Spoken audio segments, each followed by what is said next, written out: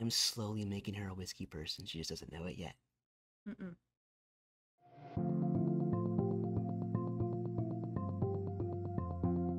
Okay, time for another whiskey.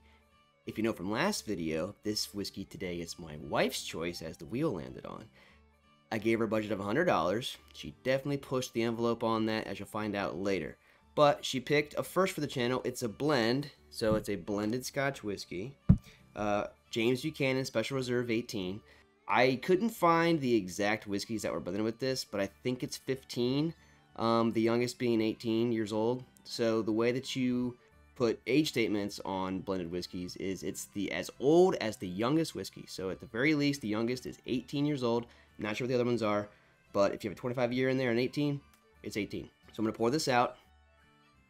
Okay, I've never encountered this before, so this should be fun.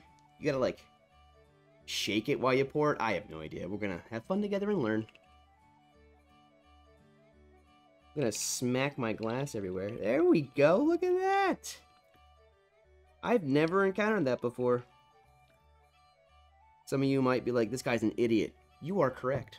All right. I like that color. Um, it's a nice, like, golden amber color.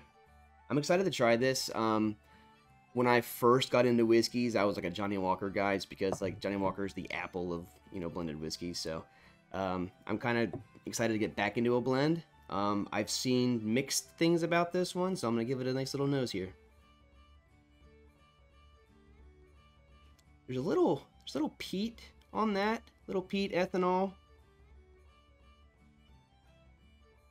It's subtle, subtle oak, but there's also some lightness in there. Getting some nuts. Yeah. There's actually a lot going on in this nose, probably because there's 15 whiskeys in there. Maybe a hint of banana. There's a lot going on. That is a fragrant nose, and I'm enjoying it a lot. Alright, I'm going to give this a taste now.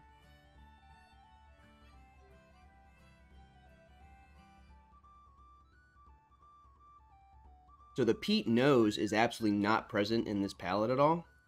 That's a very light palate. But I'm going to say I'm a little let down based on what I smelled. That is a palate that just completely vanished. There's no complexity with this. It is 80 proof, 40% alcohol. I'm going to say it this time. Um, I'm going to give it another taste. I'm going to just try and get this going here. Okay, so that's that's pretty light. I get some more nutty oak notes there. The banana's gone and so is the peat. But with that second sip, that finish is kind of sitting nicely, and I think I'm getting a little bit of vanilla notes as well. That's a better, the second sip was definitely better than the first sip. That was nicer. I'm going to go a third, I think, on this. I need to, I need to switch around the old mouth.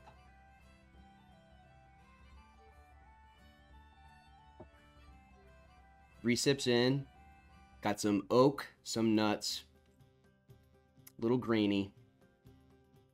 It's very light. Not quite floral, but I mean, I guess I can just say fragrant just on the tongue. The the finish is very vanilla-y. It's it's a very nice, warm, sweet finish. I, I do enjoy that. Um, I have to say, I'm just a little underwhelmed with the entire experience. The nose, I was excited because I had some peat, and I, you know, I'm an Islay guy, I like that peat. Um, but with the taste, it kind of just like all this like went away. It was like complete opposites. Um, so, I think if I'm going to give this any finger scores, oh, including this, I need to say, so the budget was $100. The site that I get my whiskey from, I sent it to the wife and said, hey, just go find me whiskey that's $100 or under.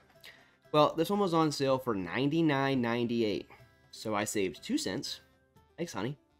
Um, and then I come to find out that my local store, it was $89. And then I've seen online it's about 80 bucks. So we're going to take like the median and just say it's like $92, we'll say. Something like that, 90 bucks. Um, for $90, um, this experience was a little underwhelming. As you've probably seen in my first review ever done, the Lismore 18, that was $70. That was terrible as far as the value went. So I'm not going to say this is terrible as far as value goes, but from what I'm getting, I don't believe $90 is what I would pay for this.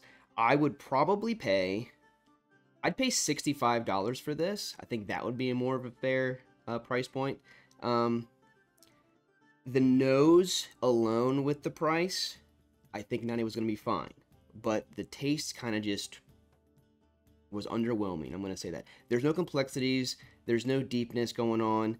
Um, I kind of sip it and it's gone. The finish saves it a little bit, so I'm going to give it a three fingers out of five just because I like the nose and I like the finish. The the upfront kind of sip palate is kind of like, eh, it's fine. It, I mean, it's worth it. If if you were if I was gonna spend 65 bucks on something, this would probably be a four. But because it says it's about 90, you know, 95 dollars, I spent 99 dollars on it. So even in my case, it's even worse. So, but because I sell cheaper prices online, I'm gonna stay at three.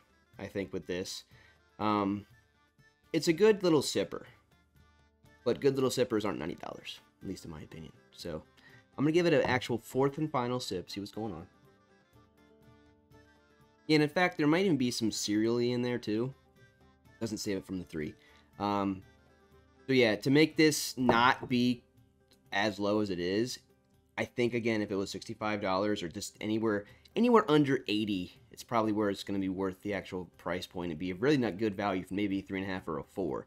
Um, with without the taste, you have nose, finish, price point. I think it's three and a half.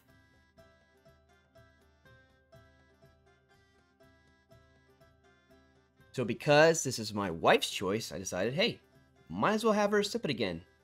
Seems to be a recurring segment. So why or what made you choose this one when I gave you the website? The price. That's it. Well, I also Wow. knew that you didn't do you haven't done a blend yet. So they had categories on the website and I saw blend and I was like, "Oh, let me check that out." And then I basically narrowed it down by price and I saw 99.98 and I picked that one. Well, thanks. Now, my whiskey hating wife can now have her own choice here. See what it tastes like for her. Now, she and actually did enjoy the Auchentoshan. It was 40% alcohol, triple distilled, pretty smooth. This is also 40% alcohol. Uh, we'll see. I think it's pretty smooth for me, but we'll see what she thinks about it. Smell first. Yeah, sure. Give it, give it a little nose. Hmm. Little bitey. Little bit. I'm not sure. if That's you don't have to like it. She's not a whiskey person. No, that's true. Okay. Go for it. Okay.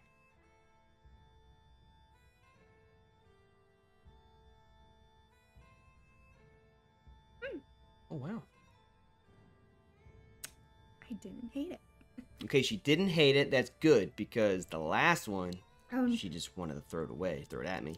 So, compare it to the Auchentoshan since we know that you actually enjoy the Auchentoshan. uh, the Auchentoshan was very smooth and felt lighter. Is that one as light or is a little more? I feel like that one has a little bit more depth to it. okay. I guess. Is Yeah, the word I'm I mean, for. sure. Um, there's there's a lot more taste in this one. As the Auchentoshan just felt like it just smooth. I didn't really have a lot of taste in that one, but this one I feel Do you get any specific notes out of that? You can't cheat Mm. off me. no. I I mean there is a little.